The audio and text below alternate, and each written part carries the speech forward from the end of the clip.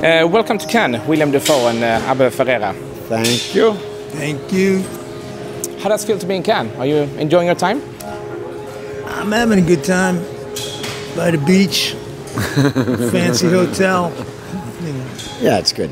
It's good. I'm happy because presenting this film, Tommaso, and also before uh, I presented uh, Robert Eggers' The Lighthouse.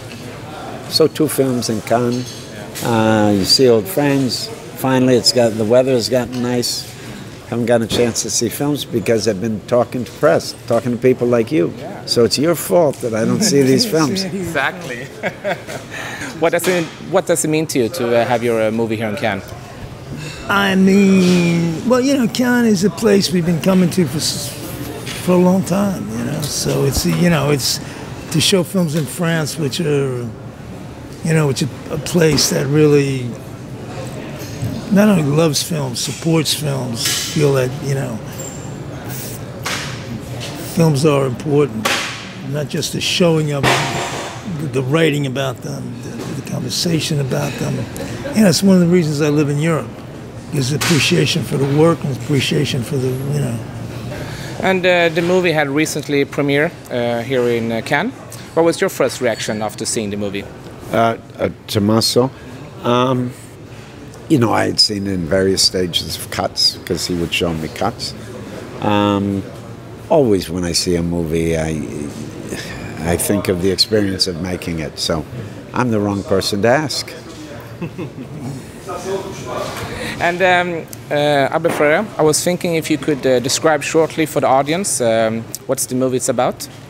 It's about a, an artist, a film director living in Rome, younger wife, a new child. Just kind of his day to day existence, you know, his personal life. His, um, he's planning a new film. It's the life of an artist, really.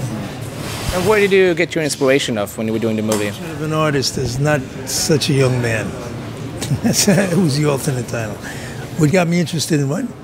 Uh, no, where did where what was your inspiration of the movie? What's my inspiration for this movie? Um, you know, that's a great question. And this is the sixth time. the life, the life, the life. yeah, That's the answer. It's the sixth time I've been asked that question, and I still haven't come up with the right answer. I'm the giving life it to is you, good. man. You got it three times. The life. The life. And um, Willem Dafoe. Um, first, we, before we talk about your character, uh, first I want to say I was impressed that you were speaking Italian quite a lot. Was that a challenge for you, or? Uh, we both live in Italy, and uh, for a, an Italian speaker, uh, my Italian is not that great, and to improvise in Italian is difficult. So is that a challenge? Yes, but uh, you know I'm used to do. I'm used to it. I'm used to struggling with that language because that's my life. Um, But he speaks it. I mean, he didn't learn. no, it. I, I stu- no, I didn't learn it for the movie, and and I, I I study every day. My wife's Italian. I live in Rome. I'm not always there, but um, so we're basically talking about improvising in a second language, one that I'm not quite that I'm not uh, fluent in. So that is a challenge. But sometimes, with sometimes those kind of challenges also uh, focus you in a different way than you normally operate on. So it's uh, you know a curse in disguise as a blessing, maybe. And how will you describe your character? I wouldn't. I think he described him. I mean, the important part is it's it's the daily life and uh, uh, a guy going through his days. Um, and uh, Rome is very present in very specific location. He's an American. He uh, is learning Italian. He's teaching classes. He's preparing a new film.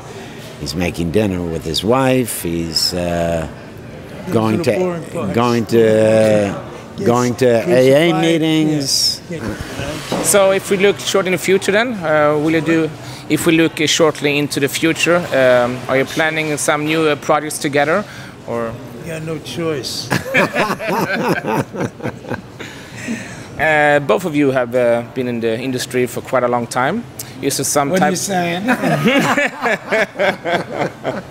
I'm trying to say that uh, is there some type of movie that you feel like you really want to do? Good movies. Oh, no. Really Did I say? Do? What, do you, what do you really want to do? You know, I, I never as a know kid- until I yeah, get you there. don't know, I right? never know until I get there. I just want to work with good people. I want to do stuff that matters, you know, does stuff that engages me, stuff that I, you know, everything goes faster as you get older. Yeah, right, and uh, I just want to s- s- stay awake and get even more awake and uh, learn things, you know, not not get into the lockstep. For me, um, I'd like to do Western, and I'd like to. Well, he did his Vietnam movie. I'd like to do a movie about Vietnam. And a Western. Can I be in it? You can play Berenger's part. And please, and uh, Willem, uh, what is important for you when you uh, pick an acting part that you, that you want to be a part of? Ah, it's always different, but uh, it's, and it's always a combination of things. But the director is very important. Uh, the adventure of where you're shooting is important. The way you're shooting is important. Yeah, I think those are the main things. And Abel Ferrara, uh, will you ever consider to shoot a movie in Sweden? Why not? I have to talk to the Swedish Film Institute, cooperate with them. The what? You have to talk to the Swedish Film Commission or Film Institute to. Yeah, where are they? Do they listen to your show? there? Do they listen to your show? Is she one of them? Okay, How but do you feel uh, about doing a western? Yeah. yeah, Jessica is up for it, you know, so she would love to have a role. You know? We, your cast. Yeah. How about someone uh, in your audience? All right, we're up for anything. Yeah, that sounds great. Um, thank you so much for the interview, and I hope you have a great time in Cannes. Okay, thank you.